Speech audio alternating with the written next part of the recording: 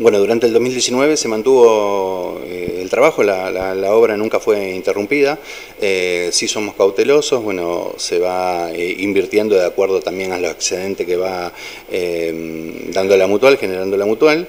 se trabajó durante el año pasado en todo lo que es interior, cocina, baños, sala de máquinas, bueno, el sector de caja, el nuevo sector de caja que fue hace un par de meses solamente lo tenemos implementado pero también todo en una preparación de una etapa, eh, en la segunda más importante desde el comienzo de, la obra, que ya hace tres años, eh, que es todo el cambio del frente integral y la fachada de la mutual y el cierre de obra de toda la parte nueva. Eso bueno, implicó todo un trabajo eh, y una inversión que bueno, se ve plasmada ahora en los, eh, a partir de, enero, donde bueno, todo ese trabajo exterior se, ve como que la obra eh, comenzó, pero bueno, se viene trabajando desde hace mucho tiempo.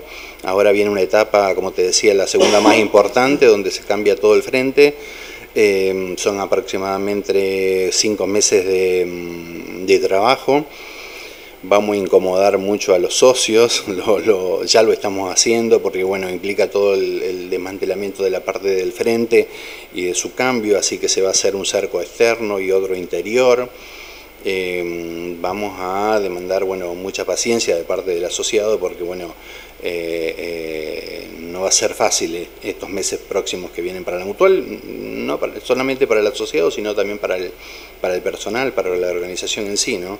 es un cambio importante y se va a cerrar toda la parte nueva. Cuando hablan de cerramiento, ¿de qué tipo? Es un perfil de aluminio con todo lo que es vidriado y después va con una fachada, es como una... Eh, texturado exterior. Sí, un texturado exterior, eh, eso se va, eh, dentro de tres o cuatro meses se va a, ver, ¿no? Y después se trabaja en el interior de la parte nueva, o ya es, digamos, porque la estructura de la parte nueva da la sensación de que ya está. La estructura ya está, se hace el cerramiento, bueno, después quedará la última etapa importante, donde son más las terminaciones, las instalaciones, ¿no? Ahí no tenemos fecha todavía de, implementación de esa parte, ¿no? ¿Esa parte es más cara aún? Y es la parte más cara, sí. Queda para el final, ¿eh? en, base, en base a los recursos. No, no, ponemos fecha.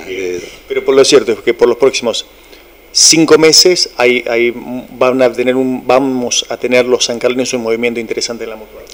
Sí, eh, muy importante. Así que bueno, vuelvo a pedirle paciencia porque bueno, todo este movimiento ocasiona incomodidades. Fíjate ahora, bueno, ya tuvimos que anular la puerta de ingreso, es otra, eh, la atención, el turnero es, diferente, bueno, mm, vamos a, pedirle paciencia, ¿no? Vemos eh, una remodelación en la vereda y uno mm, dice, bueno, esto en teoría llevaba poco tiempo y me decía fuera de micrófono, nos encontramos con complejidades, con dificultades que tiene toda obra. Sí, sí, eso es habitual. Todo el mundo sabe que cuando vos eh, te largás una obra, tocas, aparecen cosas, como por ejemplo aparecer un pozo negro, bueno, el piso no estaba tan compactado, hubo que compactarlo, bueno, comprar arena, eh, cal, eh, sacar el árbol, tapar esos pozos, bueno, la parte del centro comercial también que compartimos, también tiene su complejidad. Bueno, pero bueno, eso hay que, en, en una obra no podés prever todo, siempre aparece algún, alguna incontinencia.